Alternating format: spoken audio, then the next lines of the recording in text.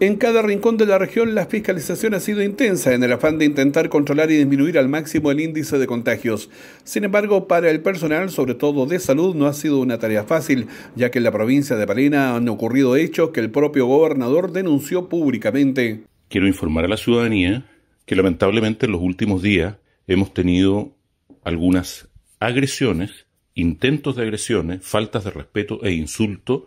al personal del Ministerio de Salud de nuestra oficina provincial de la Seremia de Salud cuando se realizan los controles en distintos puntos, ya sea en aduanas sanitarias o en las ciudades. Y quiero comunicar al mismo tiempo que he tomado la determinación de denunciar estos hechos cuando las circunstancias lo ameriten a los tribunales correspondientes con el propósito de aplicar sanciones y, si es necesario, demandar a las personas que efectivamente estén agrediendo a nuestros técnicos, a nuestros profesionales del área de la salud que están controlando en las aduanas y en las ciudades.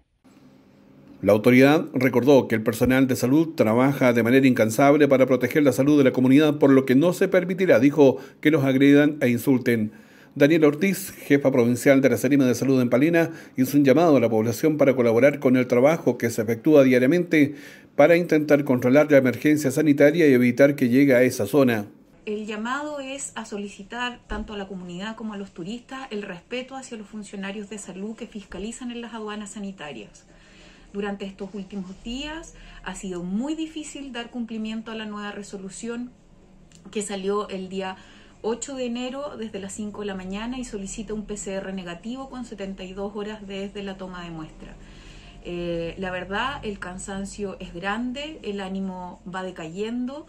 y el maltrato a nuestros funcionarios con agresiones físicas y verbales lamentablemente ha sido eh,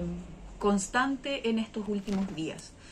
La idea es solamente dar cumplimiento a la normativa vigente para proteger su salud y la de todas las comunas de esta provincia. También se han producido inconvenientes en otros puntos de la región, donde incluso desafiando las malas condiciones climáticas, funcionarios de la autoridad sanitaria deben lidiar con el clima y genio de quienes se someten a un control necesario para evitar aumentos de contagio por coronavirus.